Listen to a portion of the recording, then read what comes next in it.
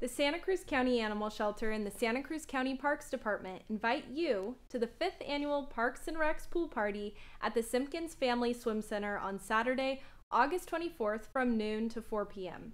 The whole family will have a blast at this fun in the sun pool party for adults, children, and yes, even dogs.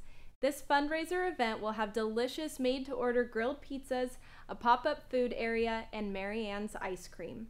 Adults can also enjoy local beer and wine.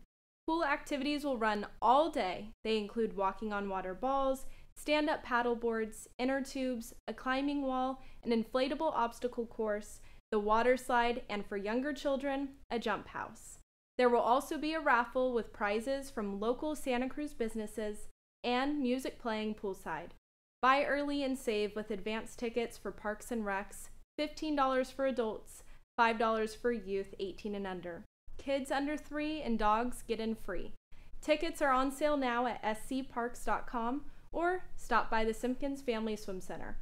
All event proceeds go to support the county animal shelter and county youth recreation programs. You don't want to miss this fun summer pool party on Saturday, August 24th. See you there!